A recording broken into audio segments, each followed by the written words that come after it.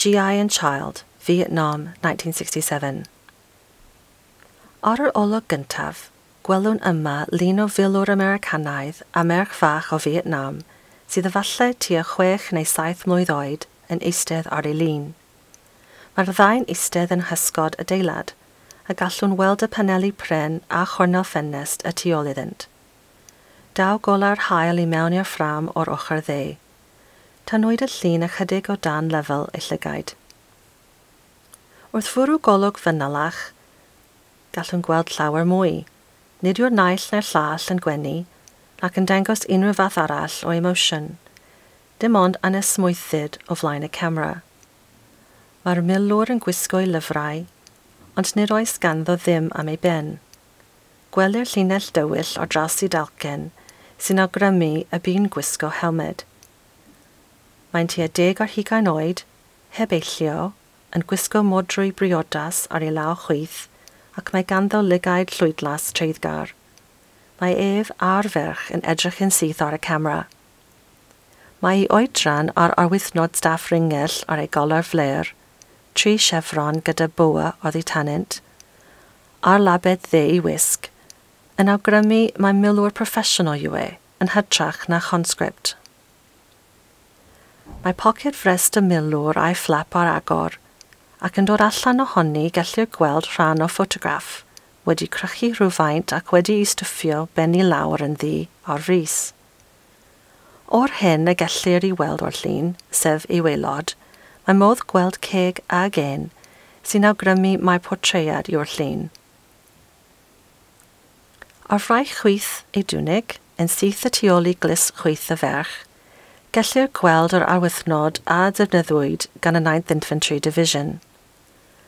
Mae'r ferch yn gwisgo dau glistlws ac yn eistedd ar lun y milwr yn edrych yn ddideimlad ar y camera. Mae'n plethu dwylo rhwng ei ffenliniau. Mae'n gwisgo trowsus brethyn a streipiau tynnau arno, ac ar ei blaws mae patrymau sy'n noddwediadol o ddeu ddwyrain eisiau. Tanwyd y llun greiddiol mewn lliw, ac yn oltrefn ffeilio Philip Jones Griffiths, fe dynwyd y ffilm ym 1967, a hon oedd ei ddeugenfed stori namen un yn y flwyddyn honno.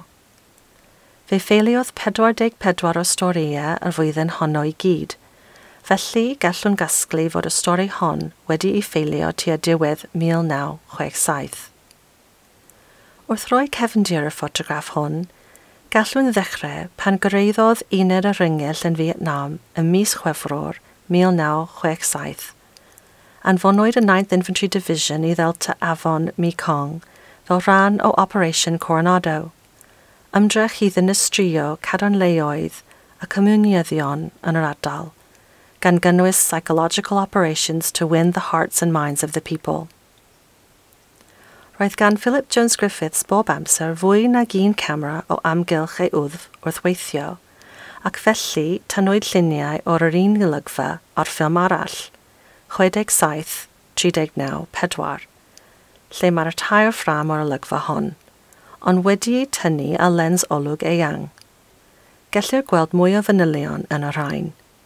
Mae gan y milwr sigaret yn ei law dde yn y ffram gyntaf ac ym mhob llun mae ei wn grenadau M79 wedi ei osod ar y llawr a tu ôl iddo. Mae llawer o gwestiynau yn codi wrth edrych ar y llun yma. Oes hiraeth ar y milwr ac yntau'n ceisio algreu perthynas fel rhan oedd ganddo gyda'i deulu ei hun gatref? Ydy ei wedi dangos y llun yn ei boced i'r ferch? a roddwyd gorchymyn iddo geisio meithrin cyfeillgarwch â hi, neu yw ein gwneud hynny o'i wirfodd. Ai dyma'r tro gyntaf iddynt gwrdd, neu oeddynt isioes yn adnabod ei gilydd.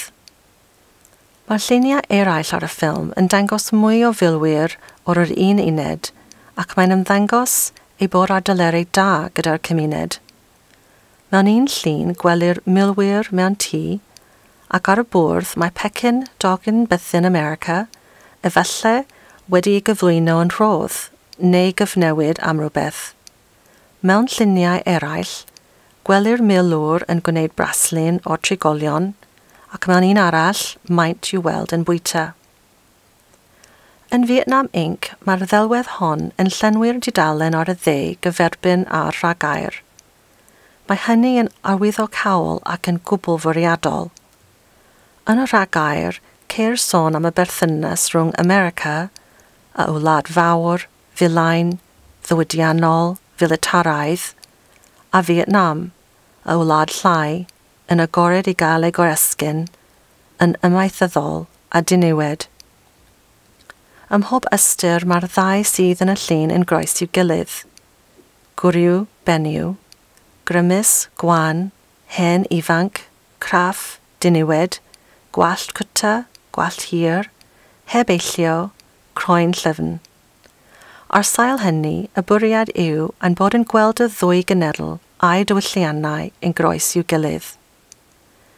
Defnyddio Griffiths y ddelwedd hon i wneud pwynt arall, trwy ddefnyddio llun gwrth gyferbyniol a dudalen nesaf Vietnam Inc.